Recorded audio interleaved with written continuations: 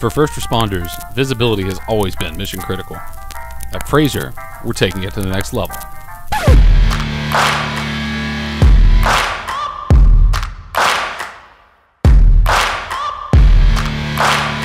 Visibility.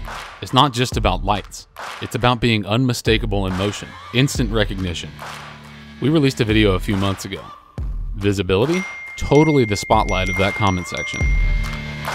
Uh, we are well aware of the comments on Facebook, TikTok, uh, Instagram, and all the other social sites about uh, people's very strong opinions about the color of our ambulances. Black ambulance is hard to see at night. We disagree. Okay, Internet, we hear you. Are black ambulances harder to see at night? Let's shed some light on the debate. Our friends over at Harris County ESD 5 in Crosby, Texas, let us borrow two units from their station to perform tests.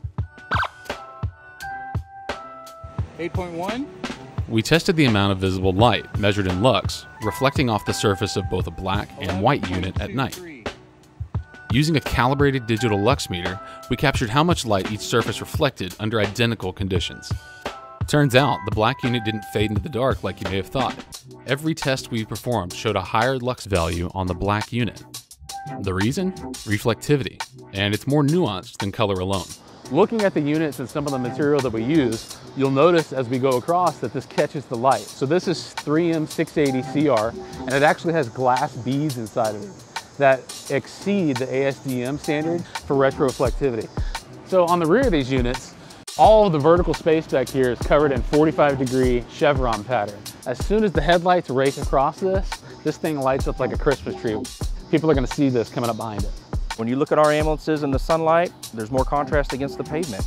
Uh, the reflective of the sun is something that's going to stand out on the roadway, not just a regular white ambulance. And many people think at nighttime it'd be hard to see being a dark ambulance, but that's not true. It's a whole system. It's our lights. It is our reflective striping that we have on the truck. So there's much more that goes into it than just the color of the ambulance. But when we're talking about contrast, Contrast isn't necessarily only about what color and material we're using. We talk about reflectivity, we talk about the way things bounce off, the way that glares are gonna catch it. So on this particular unit, we have a metallic paint that's gonna catch light even in the darkest settings, but all of this blue, all of this black fill is all retroreflective. This is gonna immediately catch light any direction it goes and make sure that we know exactly who's operating this unit. Uh, I want to assure you that we took all safety concerns into uh, account when we decided on what our color scheme was going to be and the reflective striping and emergency lighting we put on the ambulance. Crew safety is, is number one. And our citizens here in Crosby, they love it. They'll stop and talk to us and tell us how nice our new ambulances look.